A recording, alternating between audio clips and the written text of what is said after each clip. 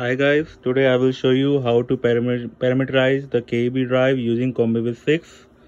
So first of all, here I have provided 24 volt supply between X2A pin number 21 and 22. 21 is the uh, positive polarity and 21 is negative. And the, here in my hand I have a CAN module, CAN operator module.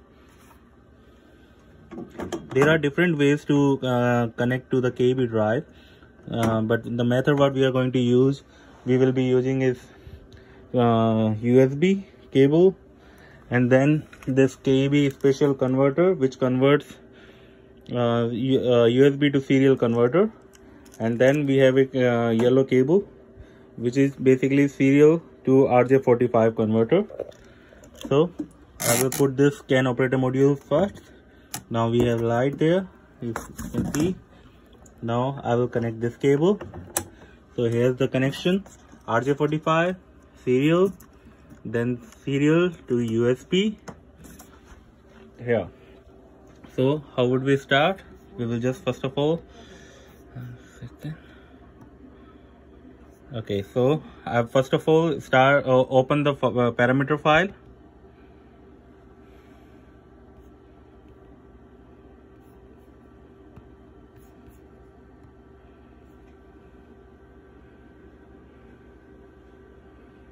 so this will automatically open in COMBIVIS 6 because COMBIVIS 6 I have selected as a default software to open DW5 file. DW5 that is the extension for the KEB drive parameter list. And then you need to go here, project KEB device scan it will be asking me remove all existing KEB device from project before searching? Yes.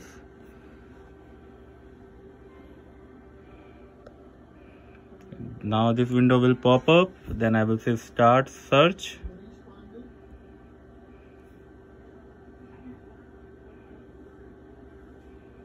And then I will select this node 1 add selected device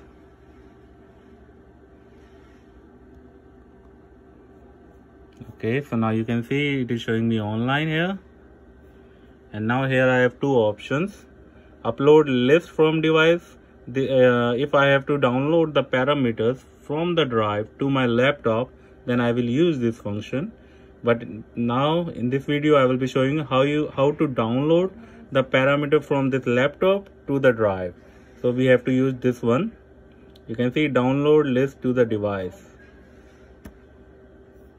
and then this window will pop up and then I will say yes I would like to start the download of the parameter list. So now this uh, process has started.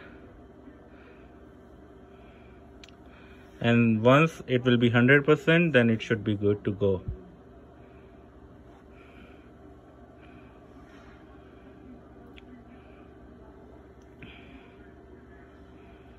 so as i said uh, there are different ways to connect with the drive.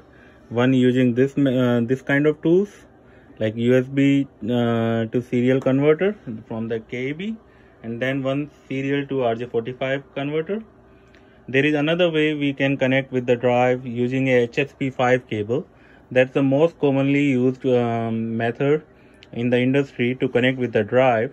But uh, you need to know that that that system with hsp5 cable and uh, uh, this uh, rj45 to CL cable we can use only with COMBIVIS 5 that thing doesn't work with COMBIVIS 6 COMBIVIS is the software. It is freely available on internet. You can just google the uh, COMBIVIS software download KEB and then you would be able to download it free of charge. So you don't, don't need to pay anything extra for that okay guys i hope you would find this video useful. If you have any questions just let me know. Thank you. Bye